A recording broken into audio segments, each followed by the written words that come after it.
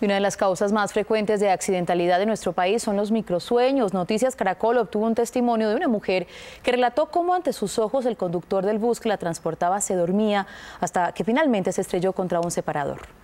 Algo y se rompió aquí todo esto. Marta Lucía Franco dice que la vida le dio una segunda oportunidad. Quedó lesionada luego del volcamiento de la flota en la que viajaba de Melgar a Bogotá. Sostiene que el conductor se durmió. Él parpadeaba y se inclinaba así hacia el, hacia el ladito, se inclinaba, ¿sí? Y parpadeaba. Entonces yo cuando lo vi parpadeando e inclinándose, yo me dije, este señor viene cansado, viene con sueño, ¿sí? le voy a hacer la conversación durante... Ya dejé de hablarle cuando me puse mi chaqueta. Ahí dejé de hablarle. Ya al minuto ocurre lo que ocurre. ¿Pero qué le respondió la empresa transportadora?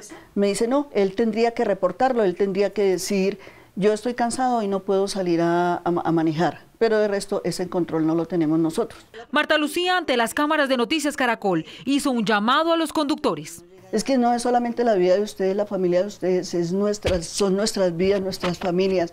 Por favor, tengan más cuidado en carretera. Si están cansados, descansen, duerman, ¿sí? Que más vale la vida que, que unos pesos más. Por eso, atienda estas recomendaciones. Y en caso de que se sientan cansados, hagan pausas activas en las vías donde hay restaurantes, hay sitios de, de descanso, lo hagan, hagan un, un caminen estiren los músculos. Según los expertos, con un microsueño de 3 a 5 segundos, el automotor queda sin control a lo largo de unos 100 metros, tiempo suficiente para una tragedia.